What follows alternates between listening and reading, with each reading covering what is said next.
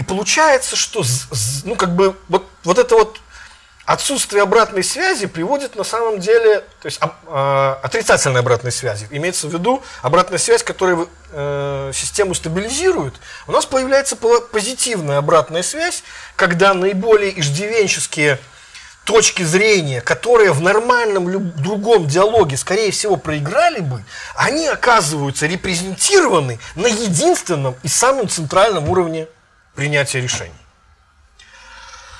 А, и вообще мне кажется, что, ну, то есть за этим даже вот за, за, за этим э, мифом о том, что вот такого рода проведение реформ с помощью авторитарной власти, э, знаешь, это, это такой вот, как сказать, важный психологический и даже мировоззренческий соблазн. Это вот что-то вот сродни, я вчера даже такая у меня метафора была, выразился, это напоминает как это, искушение Христа, да, вот у тебя будет все возможности мира. Ты же можешь их направить на доброе дело, понимаешь? Но весь фокус заключается в том, что нельзя насильно осчастливить, потому что ты не знаешь, что людям нужно. И получается, что если бы, э, как сказать, на самом деле задались вопросом,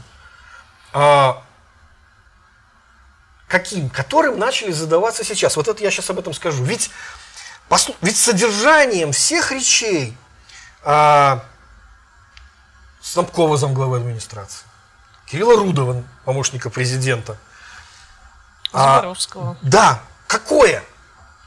Внезапно выяснилось, что вот эта логика, мы напишем хорошие бумажки, значит, придем к президенту и скажем, у вас высокий рейтинг, сколько вы хотите? 80, вот вам 80%. Давайте теперь делать дело. Не работает. И содержанием их речей недавних есть что?